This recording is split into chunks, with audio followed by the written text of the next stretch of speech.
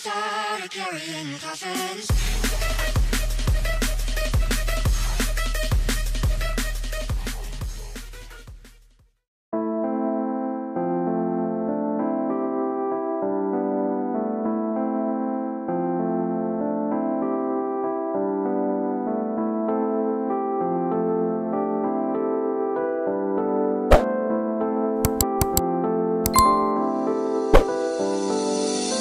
Hey, buenas a todos, un saludo a Black, ¿qué tal chicos? ¿Cómo estáis? Pues van, feliz jueves y bueno, hoy como habéis visto no ha habido actualización semanal, puesto que hace dos días tuvimos este nuevo DLC, el cual espero que estéis disfrutando, tanto en nueva como en vieja generación, ¿de acuerdo?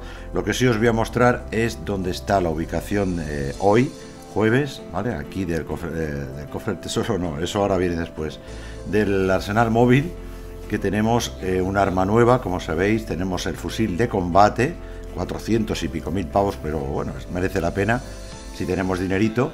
La carabina militar, su fusil táctico, viuda negra, la Atomizer, Satanás del infierno, la Raigan, fusil electromagnético, la escopeta de combate de Cayo Perico.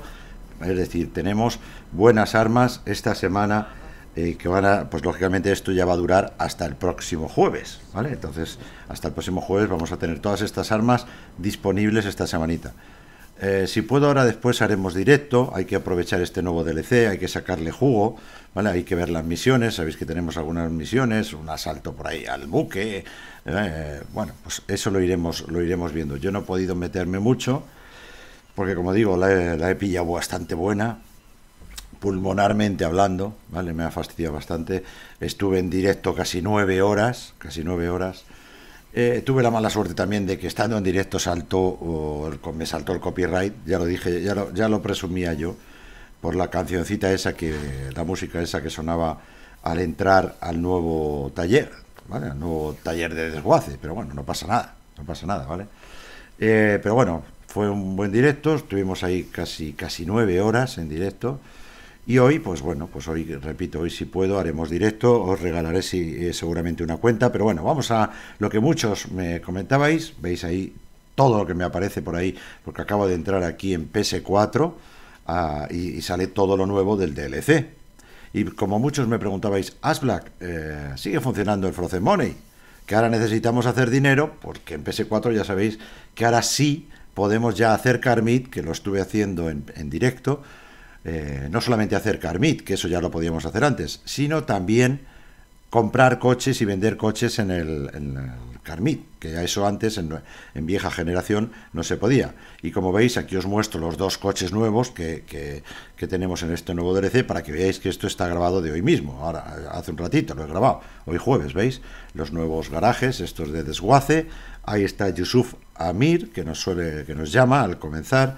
Pero bueno, ya sabéis, yo voy a hacer ahora el método. Aquí, bueno, voy a perder dinero porque tengo este garaje con deluxos, tengo otro garaje lleno con 10 deluxos, pero no importa, ¿vale? Yo lo hago para que para demostraros y para comprobar que las cosas funcionan, ¿vale?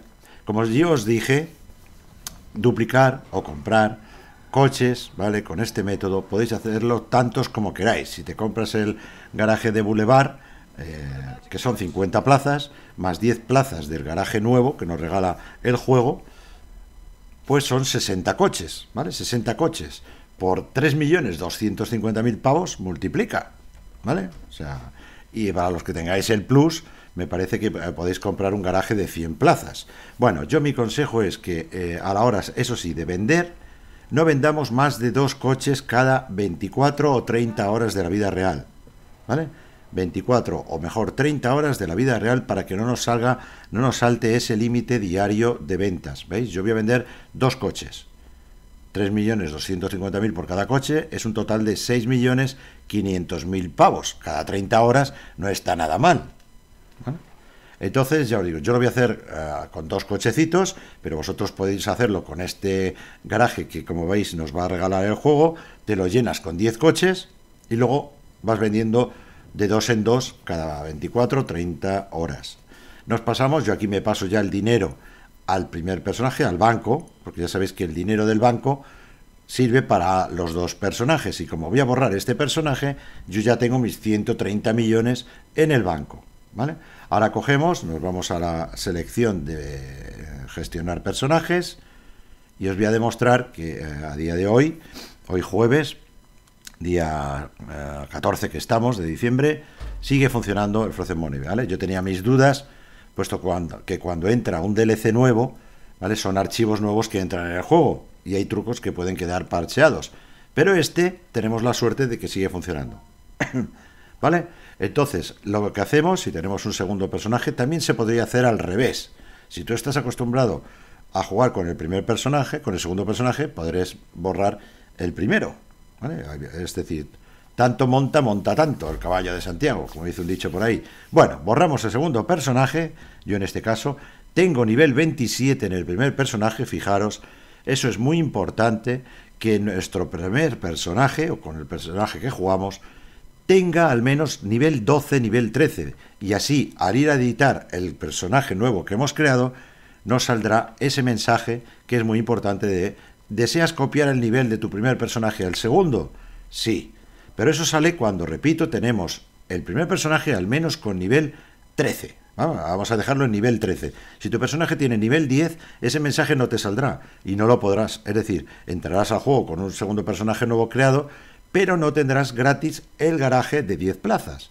¿Veis? Que ahora venimos aquí, ya sabéis que ahora esto ha cambiado, venimos a preferencias, nos ponemos reaparecer, que yo he aparecido en una sala pública, y me pongo reaparecer en el eh, garaje nuevo que me acaba de regalar el juego. Pero ya os digo, luego no me vengáis con preguntas. Mirad que lo digo veces, ¿eh? El primer personaje tiene que tener al menos nivel 12, nivel 13 para que esto vaya bien. ¿De acuerdo? ¿Veis? Yo ya me dejo aquí puesto a reaparecer en este garaje. ¿Veis que no tengo ningún coche? Pero tengo este garaje nuevo que me ha regalado el juego. Y a partir de aquí, fijaros, yo tengo 132 millones. Me voy a comprar este coche nuevo, ¿vale? Si no tenemos 5 millones para comprarnos un deluxo, pues te compras un coche del dinero que tú tengas. Y nada más darle a comprar, ¿vale? Nada más darle a comprar, tenemos que quitar internet. ¿Vale? Yo en este caso tengo la Play cerca, nada más que veo los numeritos rojos de que he hecho la compra, quito el cable de internet de la Play y lo vuelvo a poner. ¿Vale? O si tienes tu hermano, un amigo, oye, quita el cable de, del modem. ¿Vale? O en PS4, si lo hacemos en PS4, ya sabéis que si le damos rápidamente al botón, así, dos veces fuerte al botón PS, al botón del centro, salimos fuera del juego, vais a ajustes, red, quitáis internet, esperáis 5 segundos, lo volvéis a poner, volvéis al juego y salís eh, y aparecéis en la alerta, ¿vale? Tiraremos al modo campaña y desde el modo campaña le daremos entrar a sala por invitación.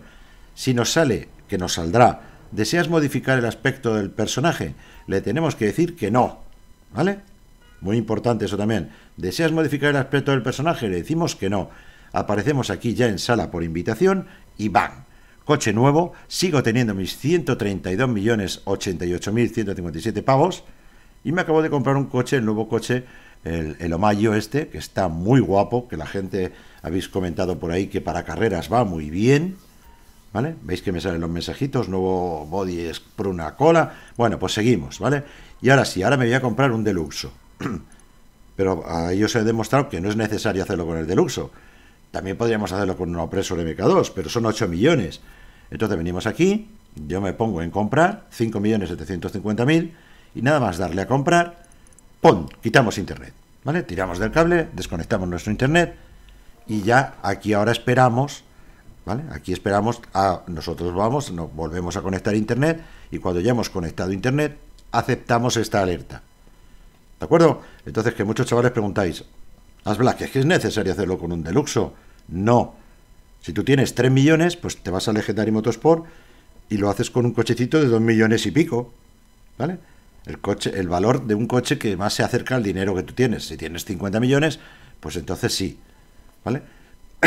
y además esto es seguro, porque es mejor ir comprando uno a uno que no comprar 10 coches y que luego alguien le falle y pierda el dinero. ¿Vale? Porque si compramos 10 deluxos a 5 millones y pico, ¿vale? Pues son más de 50 millones. Entonces es mejor ir haciéndolo así, que es el método que, yo ya subí en el canal, que va perfecto. Ahí sigo teniendo mis 132 millones, suponeros que ya me he comprado aquí 10 deluxos, nos vamos al punto azul y tenemos que mover todos los coches, ¿vale? De lugar. El 1 por el 2, el 2 por el 3, el 3 por el 4, el 4 por el 5. Movemos todos los coches de sitio. Una vez que hemos movido todos los coches de sitio, nos vamos a apariencia y me cambio las gafas, eh, el gorro, ¿vale? que por eso cuando hemos creado el personaje yo le puse a este personaje chica mío un, gorrito y unas gafas. Esperamos la bolita naranja y blanca que da vueltas abajo, ¿vale? Eso es muy importante, es decir, os cambiáis de ropa hasta que veáis la bola naranja abajo a la derecha, que eso significa que se ha guardado todo en los servidores de roster. Cambio de sala por invitación y ¡bam! ¿Vale? Ahí tengo el nuevo Omayo, el, el deluxo que yo me he comprado. Sigo teniendo mis 132 millones de pavos. Hacer dinero, esto funciona para PS4, para Xbox One y hacer dinerito para luego poder, eso, tener pasta para, para ir al Carmit y comprar los coches modeados de amigos, etcétera. ¿Vale, chavales? Así que muchas gracias a todos por estar en el vídeo. Si puedo, como digo, haré directo, no lo sé, si puedo. Nos vemos en el siguiente vídeo. Un saludo y como siempre, Ash Black.